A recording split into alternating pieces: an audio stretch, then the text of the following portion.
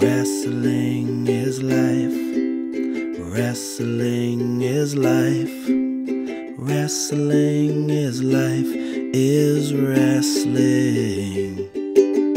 Welcome, everyone, to another episode of Wrestling is Life is Wrestling with Cody Deaner. I am Cody Deaner, and I am a professional wrestler. I'm a professional wrestling producer. I'm also a professional traveling motivational speaker. Man, busier than I've ever been, traveling up and down the roads. And when I'm doing that, I am away from my favorite job. I always tell people this is my favorite job over the wrestling, the producing, and the speaking, my favorite job is being a dad. I am a proud father of four wonderful, beautiful children and a proud husband to a gorgeous wife. And I love what I do, guys. I love what I'm doing right now. This new venture, semi new adventure. We're a bunch of episodes in now.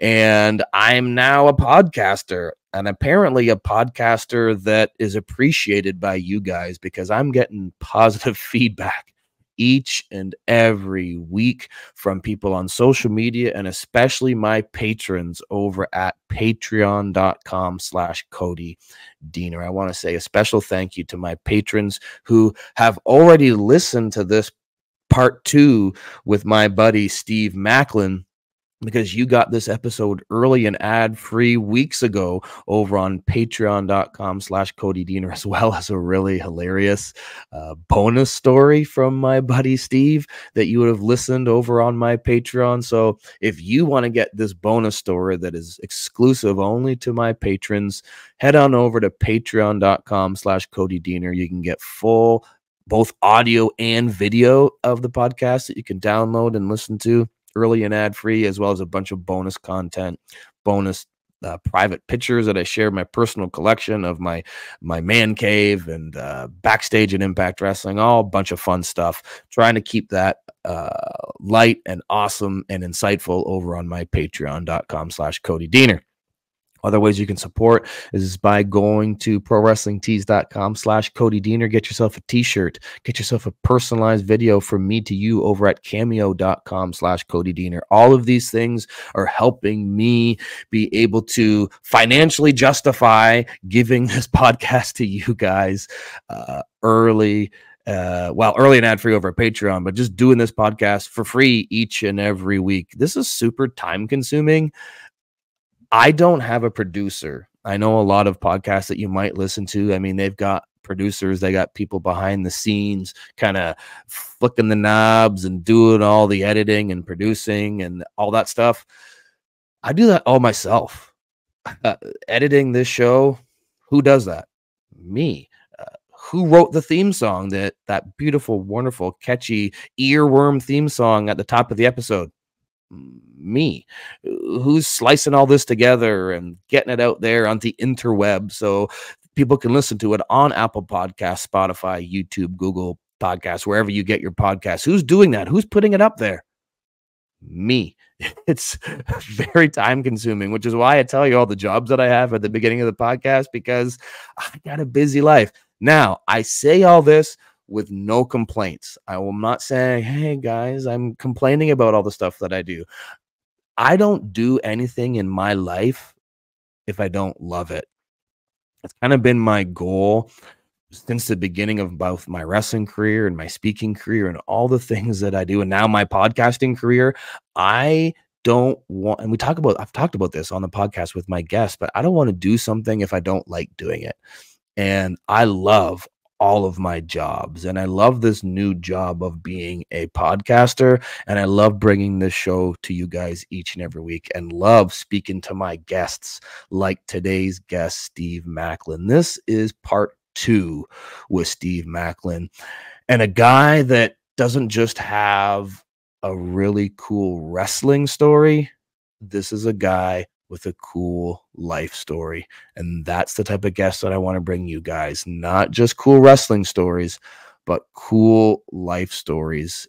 And I know from the feedback that I've got from last week's episode with Steve Maclin that you guys are looking forward to part two. And so am I.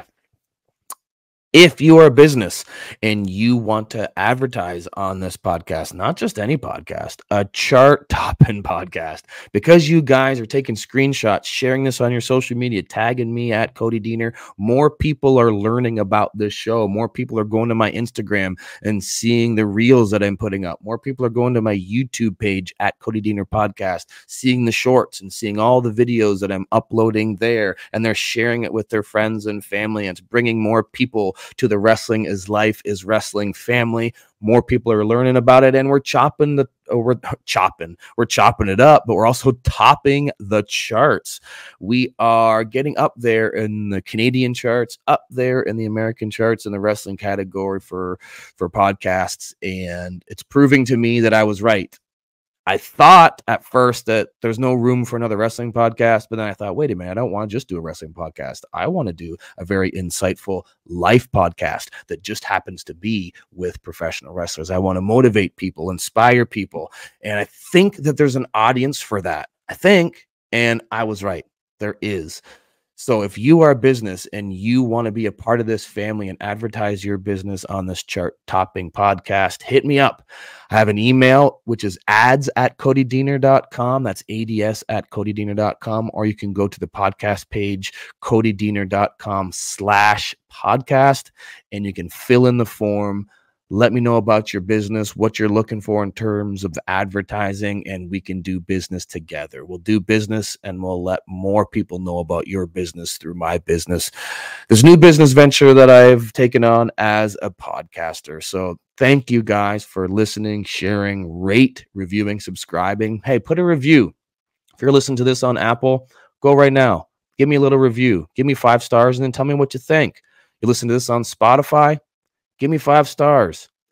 Jump on there, write a quick little couple sentences. Give me a review right now on Spotify. If you do that, I'm going to read it on this podcast and I'll name you by name as well. I've done that a couple times on this podcast and I'll continue to do that every time I get a positive review. And I appreciate all those positive reviews that are coming on in. So thank you guys for listening. I'm done doing my shilling and chatting and show opening stuff let's jump in to why you're here. You're here for part two of Steve Maclin. You listened to last week's part one and you got to the end. you're like, man, Cody, you're doing this to me every single week. You're doing a cliffhanger and I want to hear what Maclin has to say. Well, yes, so do I. So let's see the cliffhanger conclusion from last week and let's jump into part two right now with my buddy, Steve Maclin.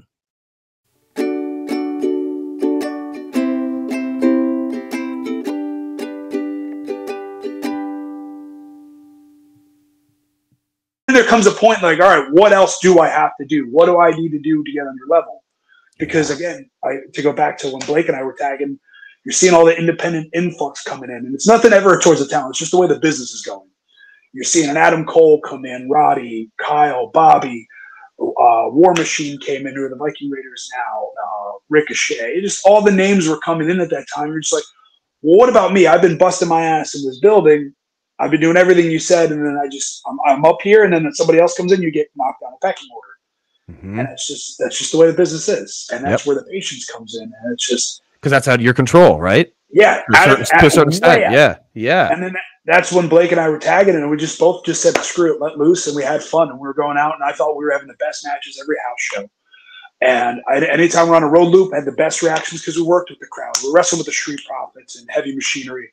And then the, lo and behold, here we are having these great matches with them. They get called up, and we're still stuck in NXT. That's just again the business. Yes, it is. Yes. But it's it was some of the fun, most fun times and the best learning experience too because I got I got to learn TV and how to work TV, how to learn behind the scenes and like, like how shows are run and just get good at breaking down match times, whether it's a six minute to a twelve minute set. Like just Mm-hmm. It just so much experience came through it, and that's where like at the time I didn't appreciate that, and then when I was fired, I was just like, you know what? I have all the tools they taught me. I'm going to go fucking prove them wrong. Yeah, that's such a good mindset. What's the most, if you could pinpoint maybe one, what was your most positive WWE experience, or maybe positive lesson or takeaway from that? I mean, it's a long time, you know, six, seven years, but is there something? That you took away that was that maybe sticks out? Whether There's it's experience or lesson or a few would be yeah. Two that come to mind is being able to be with Dusty for the year and a half, uh, the first year there for promo class, from Monday to Wednesday. I would cut promos on Wednesday. I would sit on Tuesday, and every now and then I get to go and get on Tuesday. And then on Wednesday was all the TV talent, and I got to sit there and listen. And I would listen to Dusty critique, and he he never told you what to say or how to say it. He would just find something that you said or a certain way, and he goes, "This is what I see." And like he just go like Interesting. he he figured out who the person was, and that's where I got to learn from him and talk with him one on one. And like, he's like, "You got a machine gun." You're like, I like to talk. I, I, I shoot at rapid fire, and I do my promos. I make my point. I look at the camera when I know I have to make my point, and that's how I speak. Mhm. I'm not a robot, and I know in the business everybody likes to try to, oh, this is how you do a promo. This is how you. I don't. I fully take what Dusty taught me, and that's how I try to implement it into promos. You- you- if you're gonna listen to somebody when it comes to promo advice, I mean, there's nobody better. Yeah, and it just it was cool because I got to watch everybody grow at that time in NXT too. Uh, just how NXT blew up, and you got to see a Finn Balor, you got to see the Vaudevillains with Drama King and Gotch, uh, Becky, Sasha, like all those talents, and just were growing, and you saw how they grow. And then once you saw them on the main roster, you say, "Oh, this is pretty cool." Like you just see how people elevated themselves, and just that's where they've learned from those fundamentals of Monday, Wednesday, Tuesdays, and Wednesdays with Dusty. Did that motivate you, or did that sometimes unmotivate you? Seeing your people that were your equals, you know, you, you said seeing them grow and then they get to the next level, the next stage. I've noticed there's two types of people in life. They're, you know, what I'm saying? They're on this, they're on the same level as somebody, and then when that person that's on the same level goes on to success, they can either get bitter from that or get motivated by that. it's motivation and it's also at the same time sometimes you get a little angry and it's more the anger was at the younger people that were coming in after me Uh, where i would work their tryout and then they're getting called up within a year and a half and i'm just sitting there wait a minute what's going on but then at the same time you're just that's where you learn that this is the business this is a, an entertainment business there's a role for everyone if you're not fitting that mold, it's very hard to like. You just got to find whatever your mold is, your niche that gets you to where you need to go, and that's just one of those things. It's it's not our show. Control again what you control. You do your best, and you learn, and that's what helped me in WWE was getting to where I am now with Impact, and that's the one thing I felt when I did come in. I was all right, cool. I have a I have a big chip on my shoulder to come in here, but I also have a lot of baggage of, of stuff and knowledge and talent that I can bring to the table and that's one thing that I take away every time that I'm grateful for from WWE. Yeah. Yeah. So what was what did we talk about it? You said there was two things. The second There's the other one. The other one was when we got called up, and Oh, we okay. had a, we went to a program. It was we got called up, and of course it was during COVID time.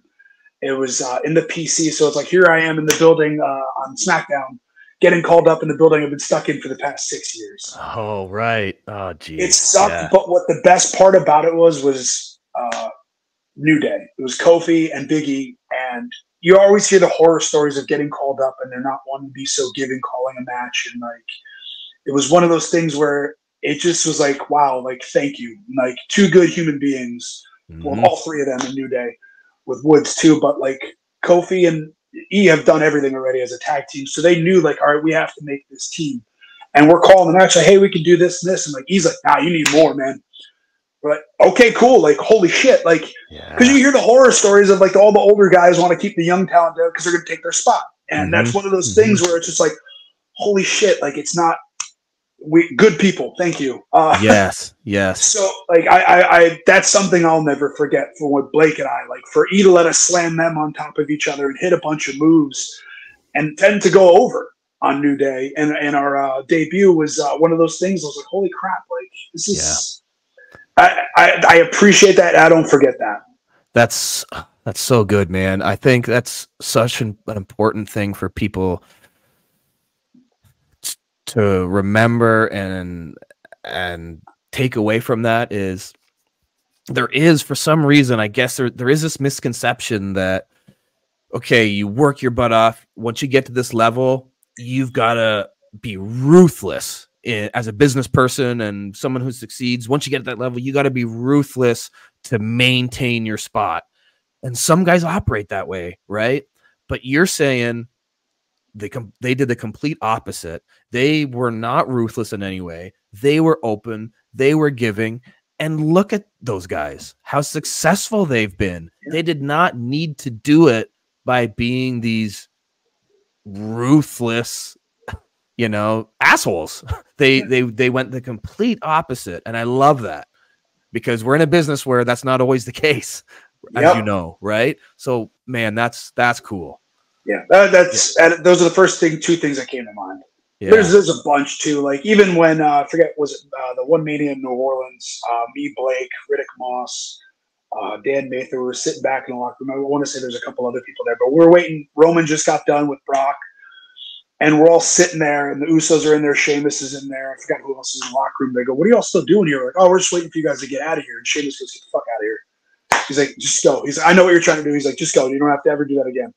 Like, "Oh, okay, cool." Because we're doing the young guy thing. We're like, "All right, Yep. cool. We're here in the locker room. We got hired here, or not hired here. We got brought here to be extras." And it was just one of those things where we just kind of hung out, and it was just another one of those moments of like, "All right, cool." Like, yeah, you, you earn the respect by just giving the respect, and that's just the business. And we sat there, we kept our mouths shut. We were Mm-hmm. Yeah. spoken to, we spoke.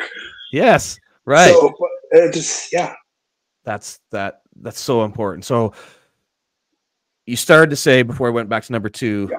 Kind of transitioning into your time with Impact. You know, you, you said you've brought in a lot of those great lessons that you learned, you know, through the PC, through NXT, those WWE experiences. You brought them into into Impact Wrestling, and I've seen that tenfold in in what you've been able to bring to to Impact Wrestling as a company.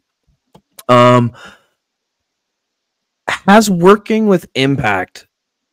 I'm not going to ask you like what's the difference between WWE and Impact because I think that's that's a very generic question and I think it kind of speaks for itself. They're two completely different companies with completely different rosters and the business is the business, but there's a lot different. Management is different, yada yada yada. And you've been asked that question a million times probably on other podcasts. But what I want to ask you is has working with Impact changed your perspective on the business? Because I'm, you know, you, you probably had a certain perspective and a way of looking at things when you were in the WWE system. And then you came out of that system and you go into Impact and you get to start doing indies, which I think is really interesting because you didn't do that before, which is the opposite of a lot of guys. So now you're working Impact, which operates differently. You're doing independent wrestling. How, if I, I'm just assuming that that changes your perspective, but uh, on on the business in certain ways.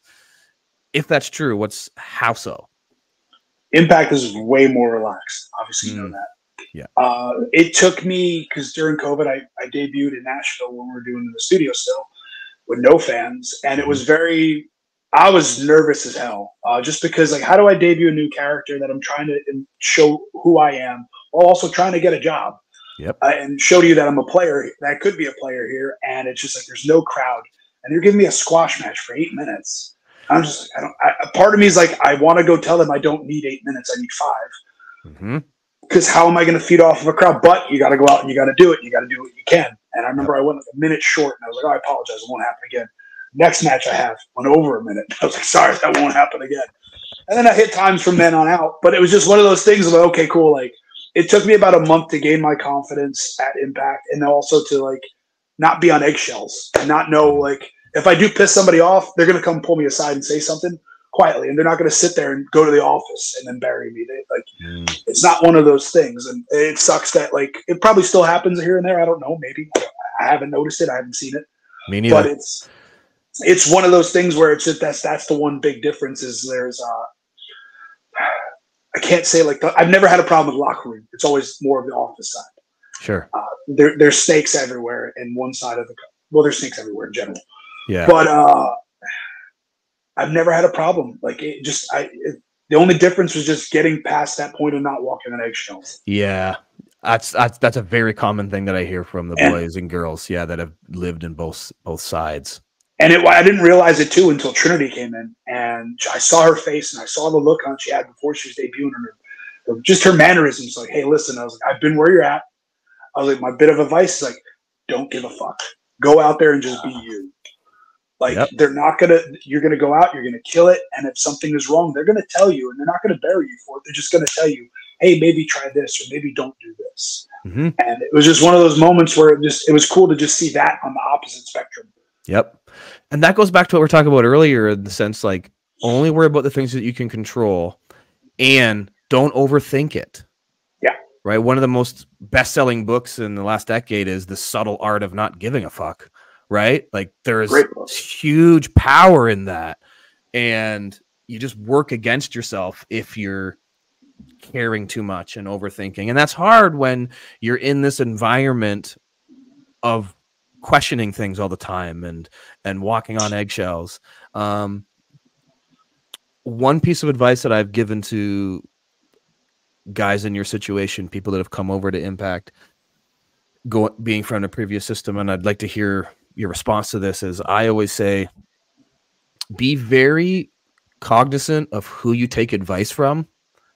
Don't you can't take everybody's advice or you're going to lose your confidence. So start now thinking about who are the few people that I'm going to go to and ask and just go to them.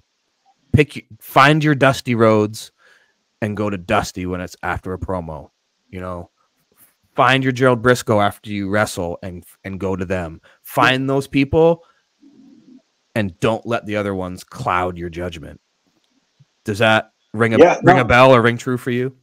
so much just because we have a lot like impact's got a great locker room for that there's a lot of great veterans like with you kazarian josh freaking heath there like, i talk to heath just about i talk to heath all the time about life just in general mm. and then we'll get into wrestling here and there but like it's just a great locker room where you just can go to anybody for anything whether it's it's life advice what's going on here hey how do i like i'm i'm pricing myself at this on the indies how do i get more booking like because that's something I had to learn too. So it's like, all right, cool. Now I know like those people I can nitpick off of, and then even just going to Scott, like Scott when I first got there with promos, I see you more like Jake the Snake style. I'm like, ah, I, I I see where you're going, Scott, but I don't agree. That's just not how I speak. Interesting. And then like we finally worked together, and like that's just kind of where we kind of we finally gelled. Like we he gets what I am, and even after the match at Under Siege with PCO, yeah. we sat down and uh, after I was all bloody and whatnot, he goes, I know why you wanted to go out there and do that, what you did. He's like, you went out and killed it. He's like, but I want you to be safe and be healthy the rest of your life. I was like, Scott, I do too, but I want to make this company better. And that's just one of those things where like, I'm going to give you everything. Like, again, I commit to everything I do. Uh, the better I do, the better the company will do. The better the company does, the better that I'm doing, everybody else is doing, at least paycheck wise, hopefully. Yeah. Uh, so like, I want everybody to do well. Like that's just the thing. Like anywhere you go, to me, you should go there to be the best and also elevate everybody. Whether you think you're green or you're you're a vet, like you just never change your mentality on what you want to do or where you want to go. And what I want to do is make it the best product possible. hmm That's such an important life lesson, though. Is whatever endeavor you're going into. I think this is so important in wrestling, and but wrestling is life is wrestling. Yeah. Is go go into whatever endeavor you're going into with the mindset of oh, what's that saying? You know, uh, rising tide raises all ships. You know, or whatever that saying is. You know, it's like we're all gonna be elevated if the tide goes up, but just your boat isn't going to go higher. If the tide doesn't go up everybody has to go up at the same time. So having this mentality of i want everything to to go up. I want everyone to do better not just me. That is probably the number one thing i've heard from talent and impact wrestling about the locker room uh is everybody it sounds so cliche oh we're family like and that's just something you say. It's not it's not just a thing that's said it's so true about the impact locker room like everybody wants everyone to do well and is giving people positive words of encouragement and like go- going up to others and like hey man that was awesome what you did. Maybe try this. Like that doesn't happen everywhere in No. in wrestling locker rooms or in life right? Like it's kind of that what I, what I was saying earlier when people see other people succeed they get bitter instead of rather being motivated i see the positive motivation in our locker room of yeah every time somebody succeeds people are happy for them and then it, mo- it motivates them and it's a lot of encouragement and always the same mentality that you have which is why i think you've you've stuck around and why you're going to continue to stick around in impact because you have that mentality that everybody has and i think the impact management is really cognizant of that and wants those people in the company which is why i think we're it's why it's so awesome. Yeah. Quite frankly. And, it, it- and it, that's the one thing everybody always like, oh, how do I watch Impact? I'm like, you need to watch Impact. And everybody says, oh, I watch it here and there. It's like, no, you need to watch Impact Wrestling because even before I even got to the company, I was watching with Dee and uh, she'd be watching it on a Twitch stream when everybody Mm-hmm. was still streaming on Twitch during COVID. I'm just sitting there like, this is a really good show. And I think Yep. I've said this on every pod, like every podcast or any interview. Like, I'm like, I would watch them. Like, this is good wrestling. Like Yes. anything you want to watch, it has it. And it just, I, if I can enjoy it as just a person and take myself out of being a wrestler and be a fan still, Yep. like, and I can enjoy it, I'm like, okay, cool. It's the same that goes for watching Raw on Mondays or watching AEWs on Tuesday or on Wednesday and then SmackDown on Friday. Like, it's just one of those things where I like to go watch everything. And then I love seeing friends that I was with in the PC being successful on SmackDown and Raw. And I'm sitting there seeing people like Gable get his opportunity. And I'm watching, I'm like, fuck, like, fuck yeah, man. Like, because he's a good human being. He's a guy that fucking stuck out. Like he just he gave everything to it and he gives everything to it. And he's he's getting that push right now. And it's one of those things where you see a friend doing that, and you're just like, that's it's good to see. And like that motivates you even more. Instead of being you can be bitter all you want. Oh, that should be my spot. It's like, no, that's his spot right now because he earned it. yeah. Like so now you have to go earn your spot. Wherever you're at, you got to go earn whatever you're doing, and then it elevates you. Yeah. Well, speaking of earning a spot, let's let's talk about how you went from a guy just sitting and watching a Twitch stream of Impact. Fast forward, and you are the Impact World Champion. That's Yeah. there's a long trajectory and a lot that had to happen to get there. But how did becoming a champion change you as a performer? more pressure on myself. I and you and I, you and I have had those conversations post match, whether you're a producer or not, where you'd be like, I can see you thinking. Mhm. I'm like, huh? Because I am. And then there's Yeah. times where I'm in the zone where I'm not thinking and I'm just doing and reacting. Yeah. And that's one of those things where it's like, okay, cool. Like the company's investing in me to be, be the champion right now. However, whether it's a week, six months to a year, I'm going to prove to them that they made the right decision.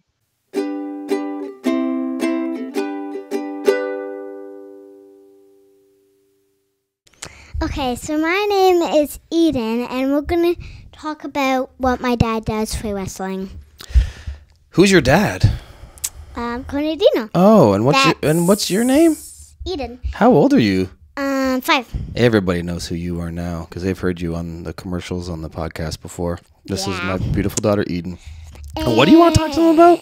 What I what I pack up for wrestling? And what you do? Okay, And tell them. I have no idea what you you're about to say. wrestler. Okay, well tell them because I'm I'm I'm kind of nervous about what you're gonna say because I have no idea what you're gonna say. I'm curious. What do you have to say? You tell them.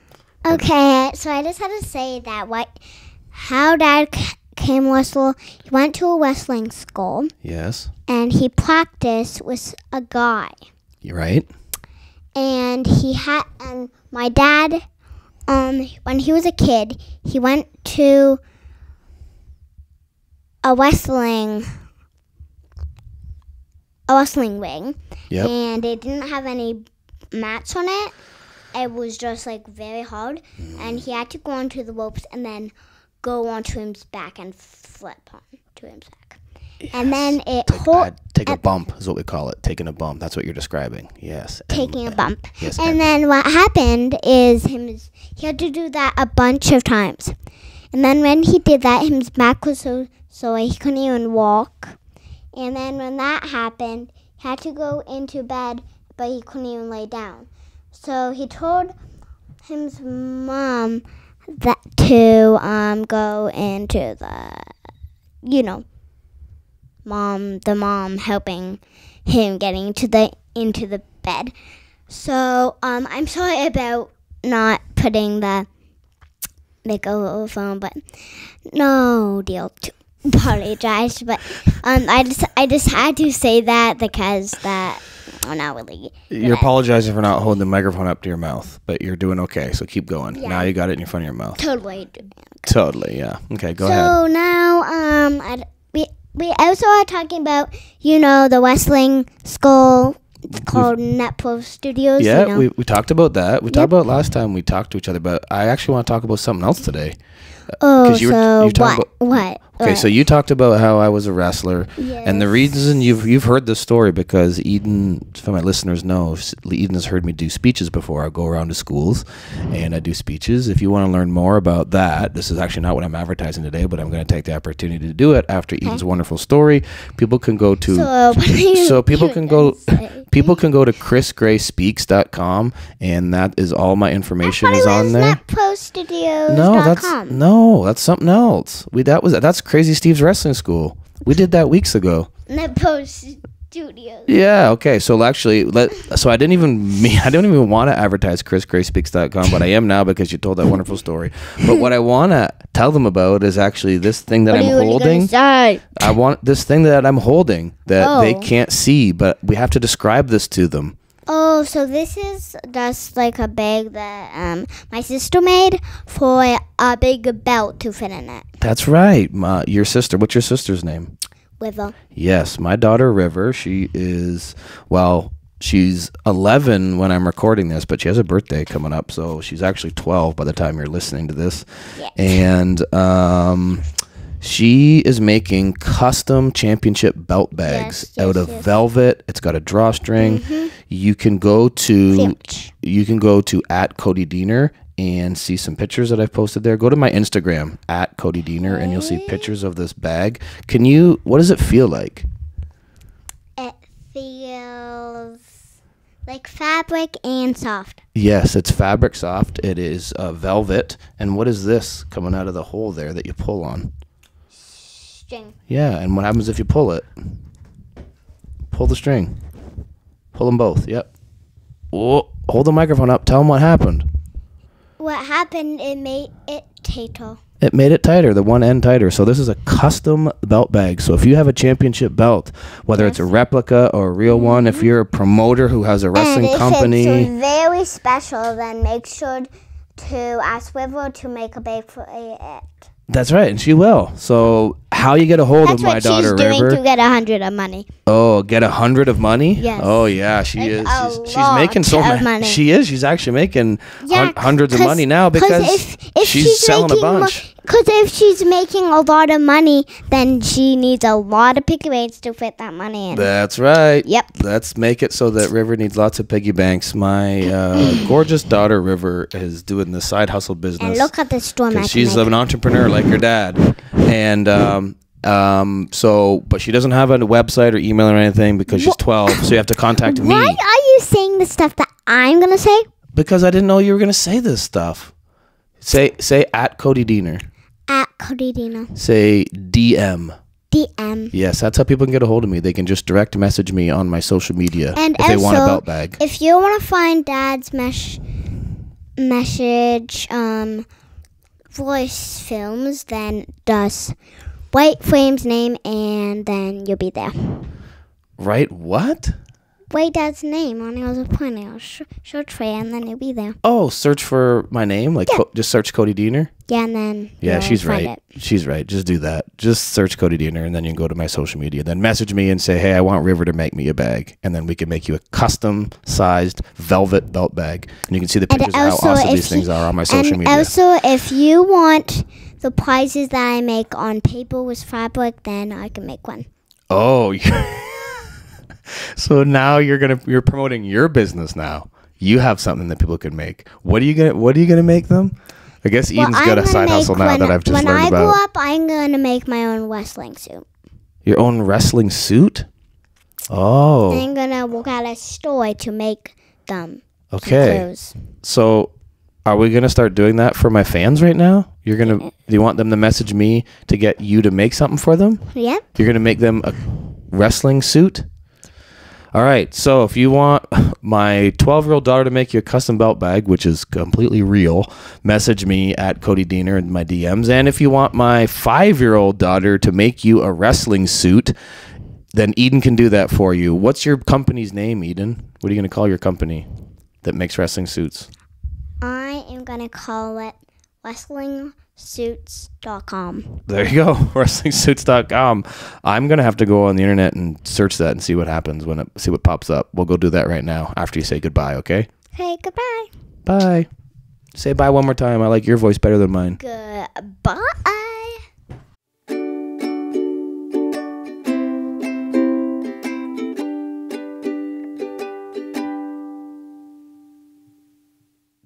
Company's investing in me to be, be the champion right now. However, whether it's a week, six months to a year, I'm going to prove to them that they made the right decision, and I'm going to prove even more and make you not want to take the title off. of me. Hmm. Like, how do I keep this as long as possibly I can until the, obviously creative has its own ways of doing things, hmm. but it's like how can I elevate the game now as the guy who holds the title?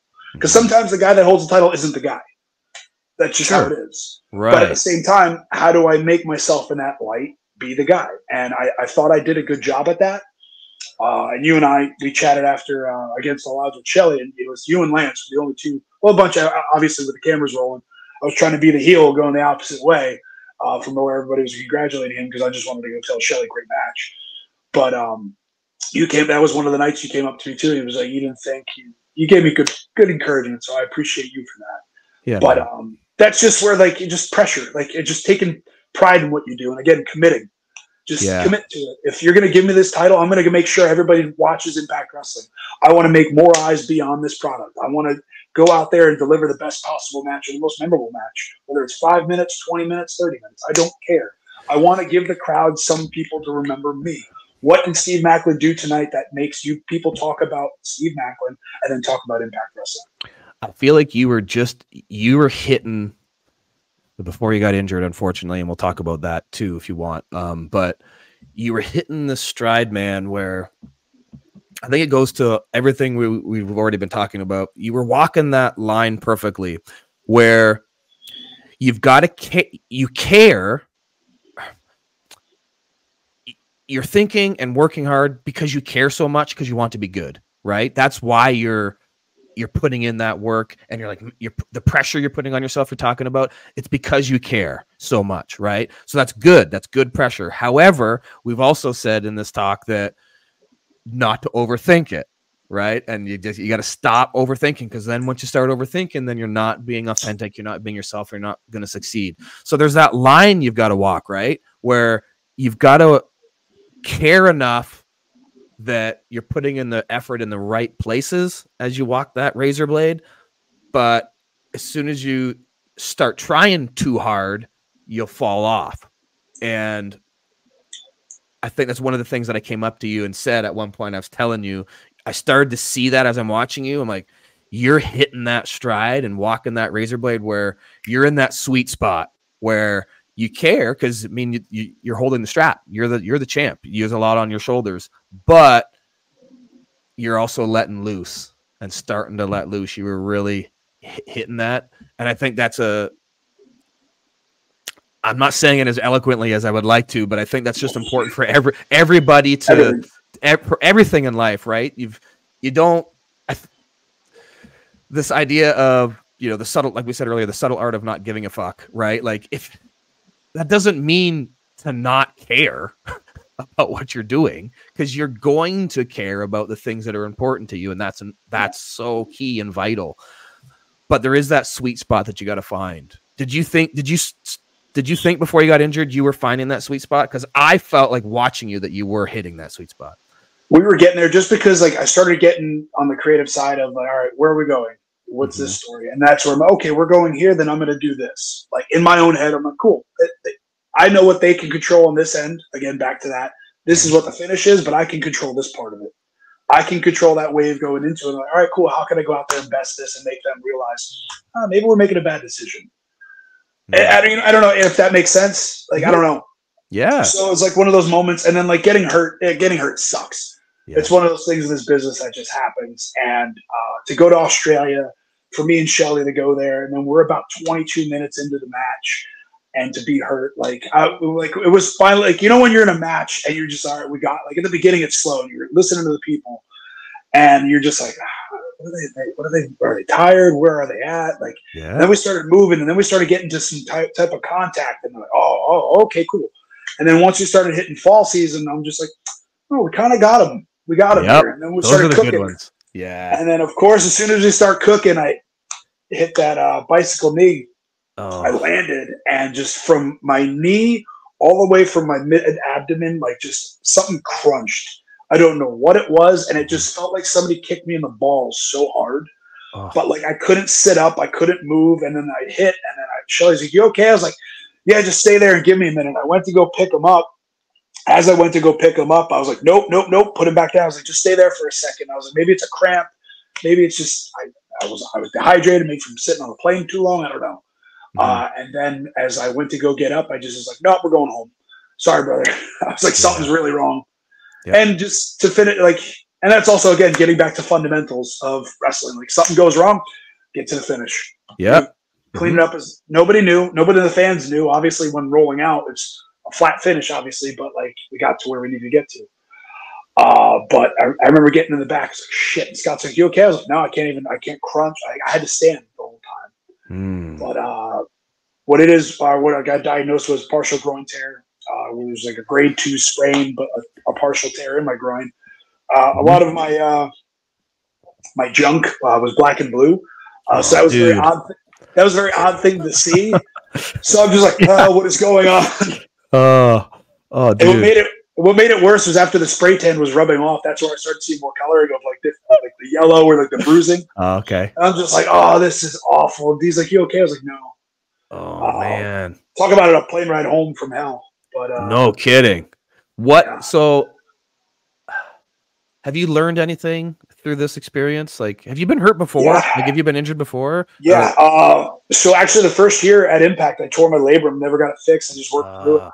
Uh, tore my labrum in my right shoulder. Hey, that's just the business. You, you Yep. can find a way to work around injuries, and I got to put food on the table. I can't be out right now. And this is one of those injuries that uh, kept me down. I, I hated it. I'm glad you got to step up though for uh, Slam. So thank you. yeah, pre- I, I I should have started that way. We took us only took us an hour to get there, but me Well, I saying, thought the hey, story. thank- I thought this. Yeah, with you and EY right now, it, it made sense for the story. the yeah, but thank you. I, I I apologize for taking your spot, but I also No. I couldn't have taken it from a better dude. So I No. uh, No hopefully I better dude did. could I- replace me. Thank you, man. I hopefully I did you. I, uh, I know we're joking, but I'm also being very serious, like in the sense that I I took that very seriously because I respect you so much, and I knew how much that match meant to you and how much build and was put into that. Like I talk about pressure, putting pressure on yourself. I put pressure on myself, knowing I appreciate it. I gotta fill. th- I gotta I gotta fill this spot properly because you had some big shoes that I needed to fill there, Steve. Because that was that was a big match, and you guys you guys worked your asses off and built a very intriguing angle um, that I just got thrown Yeah. into. So um, I I wish for you that you would have got to experience the blow off of that okay. but I also I won I I had a blast. Uh, I had a blast in the match. But I, I had asked you what did, what did you learn? Like was there something that you learned or or continually learning right now as you're dealing with it? learning I'm, I'm older uh, a lot older in life obviously from two combat tours and football growing up and wrestling and all the dumb bumps i took starting out in the pc and live events and all that it, it's finally catching up where i'm like i gotta stretch more i have to be more cognizant of my body and do a little bit more yoga not the ddp style but just Mm, take care of my body and learning different exercises now with bands and like yeah. I, I knew them I just was being lazy and now I'm, I'm, I'm more uh, cognizant of my body and stretching and we, if anything I, I learned was uh, started building a home gym now here in the house so that I don't have to leave the house uh, sometimes. Granted I go to the gym every now and then just because I like to get out of the house for that reason but um building the home gym D of course at first D's like oh well I'm not going to really work out here and here she is working out in the gym more than I am sometimes just because it's a good little sweat box too and it's a good I don't know, it's just a good re- release too, especially having the dogs in there. And uh, so I'm getting off track now of the actual conversation, but it just it just opened my mind towards uh, resting more as well because I'm a guy that never really likes to rest. I, I Ah. usually am in the gym seven days a week. I do some type of physical activity, and now yesterday I literally my Wednesday is usually my day off. At least one day a week now I have nothing. I just I'll take the dogs for a walk. That's it. Yeah. My wife and my wife gives me crap for that too, man. I uh cuz I'm dealing with with some nagging stuff right now as well and my wife was like, "Do you think maybe this is a sign that you need to slow down and maybe rest a little bit?" Yeah, And it's like whatever it is in, in me, like you, it's like no, no, that's not what it is, but it is. Like she is very right, but again, I- back I to like wrestling. it's like the It's the old vet saying, "Hey, kid, slow down." Right. Now, now it's our bodies telling. So Totally, man. I can relate to that big time. But that's that's it's so important. Isn't it funny how we are in this business that's totally reliant on our physical health to be able to even do that, yet we neg- we neglect that for whatever reason. you oh yeah, know? with with the amount of caffeine intake, sometimes alcohol. Yeah. Yeah, or just dehydrating ourselves. yeah, I'll s- swing my arms a few times, do 10 push-ups. Okay, I'm warmed up. I'm good to go. No, you're not. no, I Uh, not. yeah, it's just now. Now I know. Like I have my I have my own little routine now. I'm going to try to implement every warm up for a match. But usually I just puke my guts out before a match anyway. and then I go on the curtain. but uh, yeah, All no, right. that's it. Slowed me down. That, that's the one lesson I got out of all this. Is, hey, Yep. you're getting older. Start ti start to take care of your body a little Yep. bit more. Even though you think you're taking care of it, you're really not. Yeah, that's that's that's a good a harsh lesson to have to learn, but a good one um, Yeah. to learn. So I want to be cognizant of your time. We're getting we're getting uh, we're at our time here that I told you we were going to take, but I want to ask you just a couple more things just to wrap up. One thing I want to ask you is, and maybe maybe even this last couple weeks or months you you've been held up. Maybe you'll give a different answer to this than you would have before, but maybe not. What brings you joy in your life right now? Family. Hmm. My wife, man, I waking up with her every day and is the best thing in the world. Hmm. to be able to roll over, see her, and we have the dogs. They make it hard to get out of bed. I'm sure it's with you with the kids too, if they're kind of cuddling with you, or you're laying in bed, you don't want to get up and move. That's peace for me. I Yeah. like that's one of those things where I, I'm very family oriented. I always have been growing up, uh, so it's just one of those things where Deonna's gotten a lot closer with my family as well. Like I have my three cousins who are in South Carolina with their family Oh, my cool. uncle up there. But like they're I grew up with all girl cousins, so like they're my sisters. So she's getting to enjoy my sisters pretty much and just we're we're very close. And that's the one thing I try to enjoy, especially with the schedule that we're allowed to impact, is just the time I can just enjoy life Oh, and not that's great. not like just turn off. Like Yeah. I love wrestling. I, wrestling is my life. Uh, it really is. Like everything relates around wrestling. But when I can just put my phone down and turn off and just enjoy the time with my family and just it's that's the best thing. Can can you and D do that? Because I married outside the business. You married within it, and so like it's a very. I'm sure you have a very wrestling heavy household. I'm seeing that picture behind you. You're both holding your championship belts. Like that's your life, right? Do you guys have to purposefully shut shut it down, shut it off together? Is there? Our office is the only place where there's any type of wrestling memorabilia. Ah, okay. So Gotcha. yeah, every this is all this is like our wrestling room, comic books, life, uh, Mhm. kind of everything into one. Yep. Uh, but um, I'd say we're about like like an eighty percent household of always wrestling, and then twenty percent shut off. If Okay. that makes any sense. Yep. Just totally. because Monday through Friday there's wrestling on television. I'm watching everything. I always watch back the episodes on Thursdays with Impact, just because I want to know what everybody's doing. Even the past two months that I've been out, Mhm. I want to know everybody's storylines, what's going on. Like, dude, Smart, crazy, of course. Steve's, crazy Steve's vignettes, the interviews he's been doing, like that's the stuff that I like, and Yeah. like just being able to like. It just that's I just I know that's where I don't shut off. Or if she has gear ideas or this or that, like I've been in the garage creating my new jacket and like Mm. those are the times that I don't shut off because I always have a creative mind and I don't ever want to take myself out of it. But when I do, it's it's very easy for us to shut off where we just we go away for the weekend, whether it's St. Augustine or we just went there uh, two weeks ago Yeah. just for a three day weekend to just get away. And it, dude, it's it's the best to just It enjoy life and just go enjoy food and see things and then just Yeah. a little bit of history here and there. And then uh, with school, like trying to finish up college, I started the next semester here on Monday, so like that keeps me really busy too. So Oh wow, good for you, dude. I didn't know Yeah. that. Yeah. Oh man, I won't even. I want to. I want to ask you about that kind of, but I, I want to be conscious of your time. That's good. That's, yeah, That's like. Yeah. Finish it. Uh, it's one thing. Like my mom, my mom always wished I got a degree. We'll, we'll get into Okay. it real quickly. Okay. so that's yeah. the one thing. And then Dee's also pursued me. She's like, "Why don't you finish your degree? You have two and a half years left." Because she did that too, right? Like she worked. she just yeah, she just she just yeah. graduated. She got her uh, ma- or uh, not master's, uh, bachelor's in history Right. as a Okay. major. So it's just one of those things where it's just another one of those things. Like, do I need it down the road? Maybe I don't. I don't know. I'm Yeah. trying to get a degree in psychology, and uh, that's the one thing. Like, I'm I, I'm enjoying it. Do I need it? No, but will it be something that one day I can tell my kids, like, hey, like, yeah, you could you go out and if you see commit to it again. Mhm. If you're going to do something, commit to it, and that's one of those things of just just checking those boxes in life and like, all right, I did this, I did this, I did this, and then I'm also enjoying life. So You can do it. wonderful, man. everybody Yeah, can, you do it if you make That's the time right. for it. Yeah. All right. So let's before we go, let's put over your wife one more time, because I know you're you're putting over your wife on social media.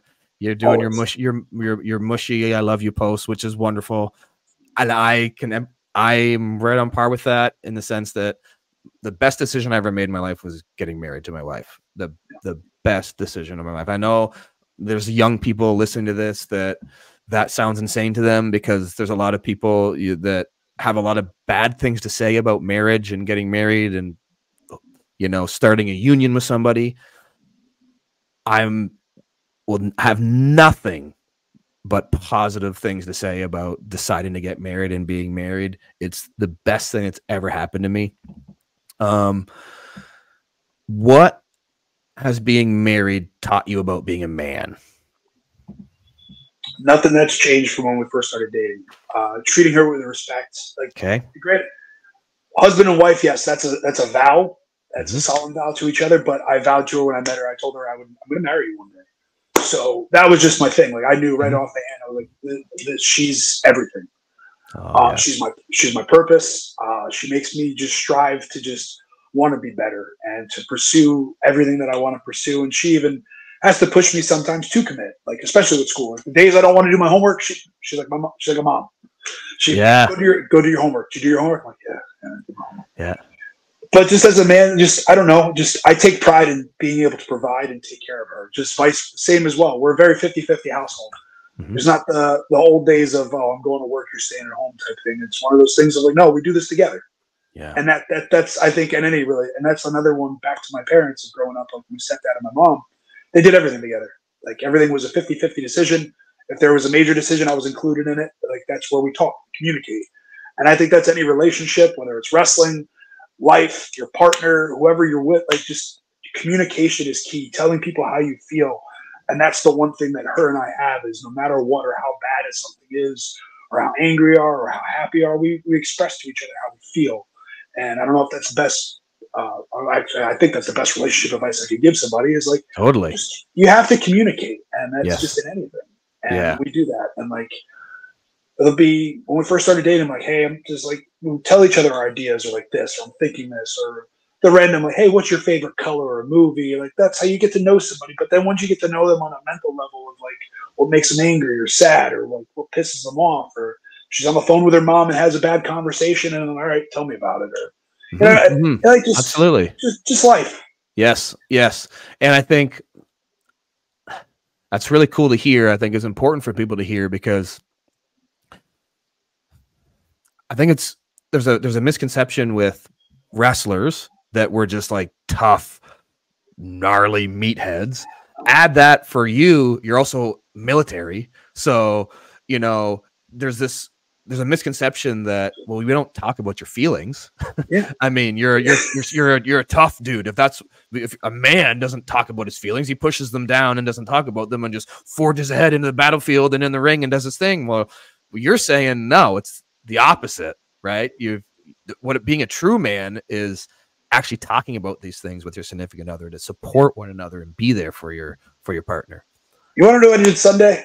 Watching I the. New Japan, the Multiverse Two. Yeah. I made a batch of twelve cupcakes while getting drunk watching the pay per view, Oh yeah, there it is. and then I ate. then I ate all twelve cupcakes because I like to bake. I like I like to bake. I like to cook. I like to clean. So like to go back to what you just said, like everybody thinks who's where they just we're people, but we just portray a character on television. sure. Who we are in the ring and outside of the ring is completely different most of the time. Uh, Mhm. granted, it's a part of you in the ring, Definitely. but um yeah no just i just i she lets me be me and she gets to be her and like we never have Yeah. a fault with each other Yeah. like it's i don't know and i'm sure that's with you and your wife or any relationship like there's everybody has their faults but that's where you adapt to them and you learn from them and you just accept it and just like this is my person Yep. And to bring it full circle, one of the first questions I asked you was, you know, what did you learn from your parents and as a kid? And you had said, you know, learning how to commit and do something right. And you have found somebody who you just you said it as I was asking about Deonna. She you said she makes sure that you stay committed to what you're doing and making sure you do your homework or whatever it is. Yeah. If you got this goal, she's keeping you in line.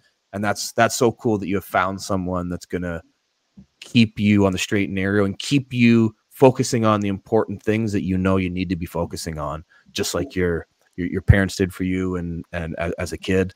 And the as one of the valuable life lessons here on wrestling is life is wrestling that we talked about at the beginning we just talked about at the end with your with Yeah. your beautiful wife. So that's that's awesome man. I uh i very much appreciate you giving me your time and and speaking to me. I know there's going to be a lot of people that um weren't expecting to learn some of the things that they learned about you today also um weren't expecting to take the, the they knew they were going to get some takeaways because that's one unique thing that I'm getting feedback from this podcast is people like, oh man, this is this is different than other wrestling podcasts I've listened to, um, which was my my whole goal um, in in the beginning of trying to make something different.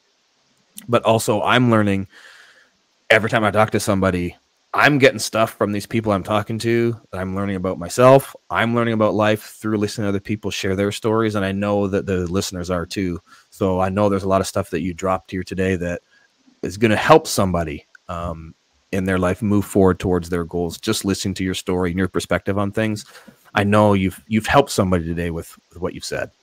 Oh, appreciate it. I'm sure. I'm sure it's the same for you going and doing seminars and stuff. Like as long as you can reach one person with a little Yep. bit of knowledge or something to take away, and that's that's all you can ever help for is just helping one person. Um, if you can help more than that, then, then that's the best thing possible. I want to help everybody. Awesome. Uh, share my story and hopefully uh, my life lessons and uh, wrestling with life. Or wrestling Yep. is life. Is Yes. uh, that, that wrestling? It really is life, though. It's it just is, uh, man. up and down of baby faces and heels constantly clashing. uh, Yep. it's the best. Yeah, man. Well, thanks for doing this. I appreciate you, man. Well, thanks, Deaner. I appreciate having me on.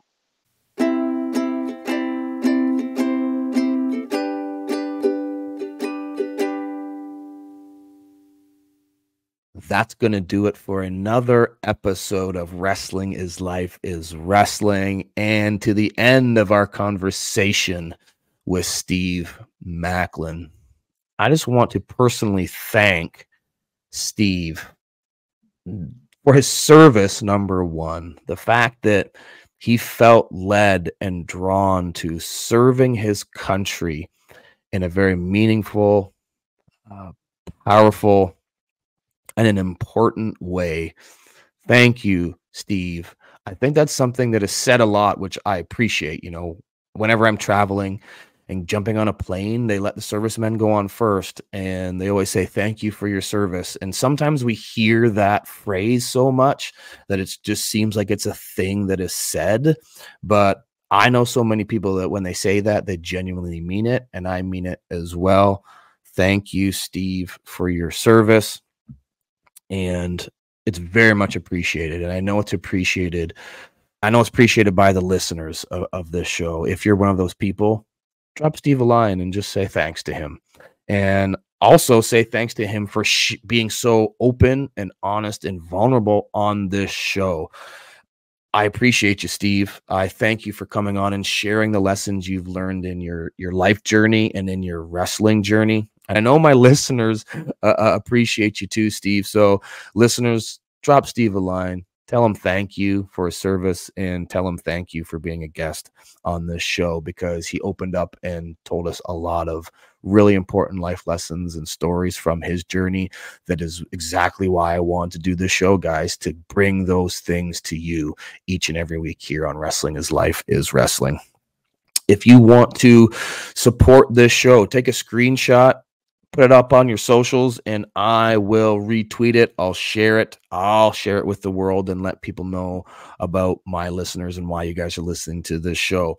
If you want to get a bonus story, you loved these stories that you heard from Steve, but you want to hear a little bit more, you're not done with Steve Maclin. Well, you can go and listen to a bonus story that is only to my patrons. And it's a never before told story of Steve while he was serving his country, but also was a super huge wrestling fan and how those two worlds united in a very unique and hilarious way.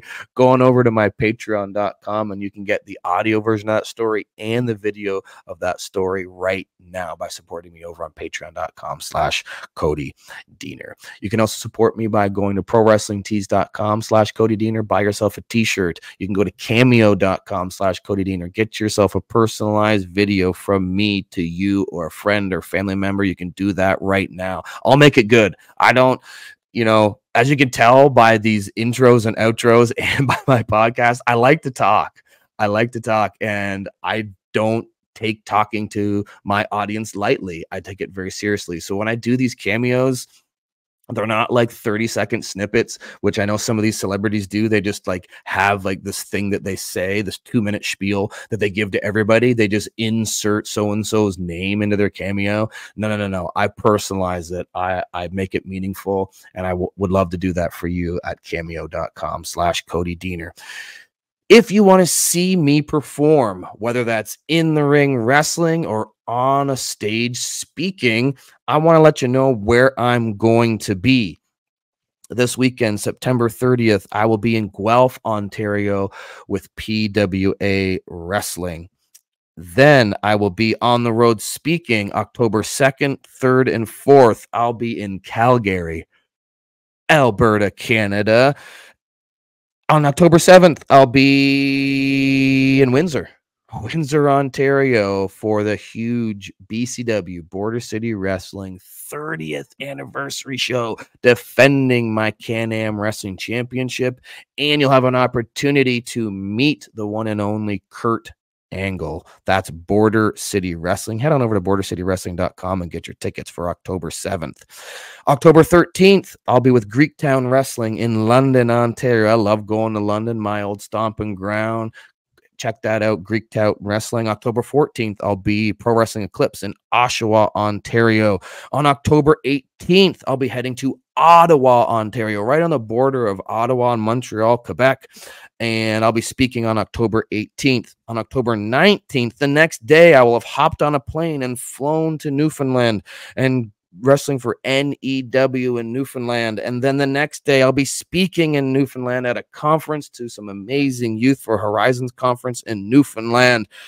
Then I'm hopping back on a plane the next morning and flying into Chicago for October 21st and 22nd. It's Bound for Glory weekend with Impact Wrestling in Chicago. If you want to do go to Bound for Glory, our big annual event, and do the fallout of Bound for Glory on the 22nd, go to impactwrestling.com and get your tickets.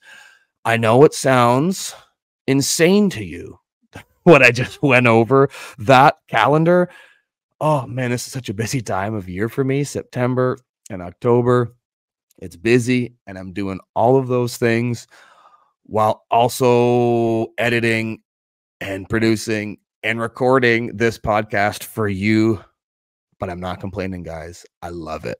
I love what I do. It's so important that you love what you do. And I love giving you guys this podcast. I love wrestling and doing independent wrestling shows. If you want to put me on your show, hit me up, book Cody at CodyDeaner.com. I'd love to wrestle on your event. If you want me to speak at your school or to your youth group or at your conference, like you heard, I'm on the road. I'm doing it, man. And you can hit me up at chrisgrayspeaks.com. That's my speaking page, chrisgrayspeaks.com. That's C H R I S G R A Y speaks.com. You can see all the topics that I speak on. There's speaking reels, there's all kinds of stuff over there if you want to bring me to your school or your event.